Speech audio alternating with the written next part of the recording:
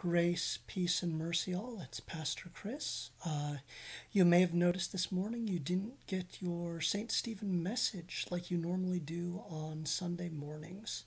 Unfortunately, Google is acting uh, funny with um, how many people it's allowing to send blind copy emails.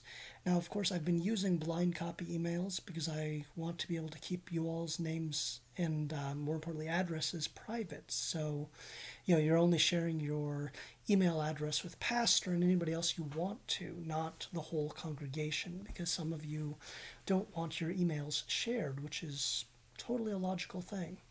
So I just want you all to know that I am working on getting that resolved so you can regularly receive. Uh, the email from the church. Um, so yeah, just wanted to make sure um, you knew what was going on.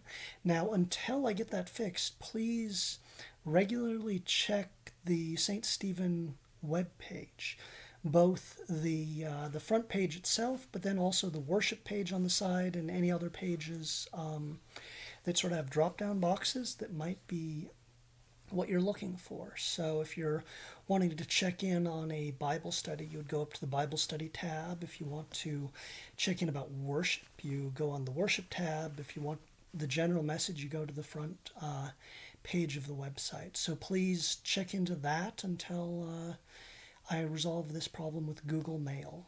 So, um, yeah, I'll send you a uh, more pastoral message later, but I just wanted to make sure everybody knew what was going on there. I'll hopefully see everybody else in a few minutes on um, our Zoom coffee hour. God bless. Bye.